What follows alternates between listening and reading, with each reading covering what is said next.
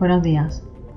Es un honor para mí poder compartir unos breves minutos a través de esta pequeña ventana que nos posibilitan las nuevas tecnologías y celebrar una fecha muy señalada para la Consejería de Empleo, Formación y Trabajo Autónomo, como es el Día Internacional de la Mujer Emprendedora.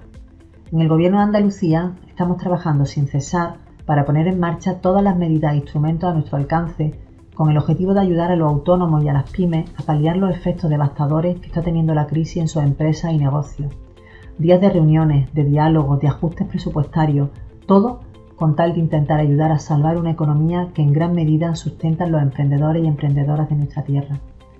Por eso entendemos necesario hacer hoy un alto en el camino y analizar en el Día Internacional de la Mujer Emprendedora el papel tan destacado que estáis teniendo en esta pandemia.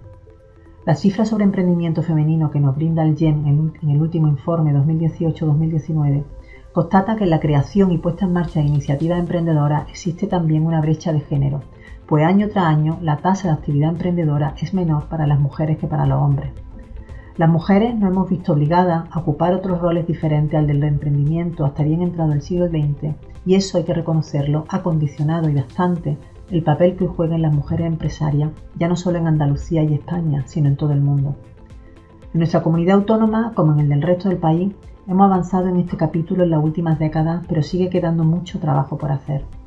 Podemos celebrar que en nuestra tierra existen en la actualidad más de 175.000 mujeres empresarias o que el pasado mes de octubre se marcó un nuevo récord histórico de mujeres inscritas en el régimen especial de trabajadores autónomos con 192.744, un volumen de representatividad del 35,31% sobre el total. Destacar también una evolución en la última década exponencial con tasas de incremento en el número de autónomas de un 24% por encima de la tasa de aumentos totales en el número de afiliadas a la seguridad social, que fue del 6,9% en la última década.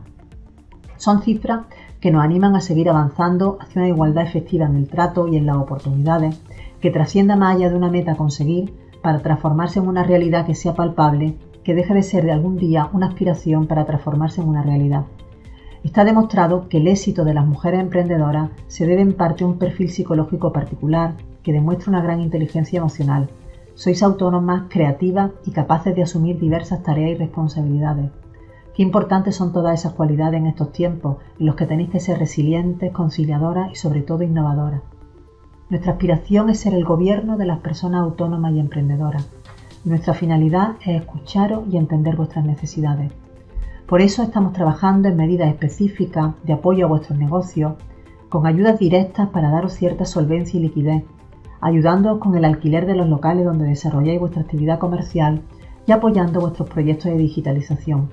También pondremos pronto en marcha ayudas para fomentar la conciliación de la vida personal, familiar y laboral tan importante para vosotras en estos momentos.